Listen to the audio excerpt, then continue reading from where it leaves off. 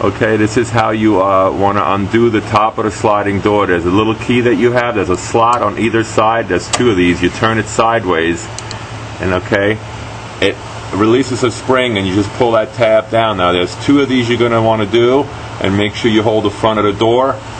All right, click it back in. That's how you click it back in. And what you would do is,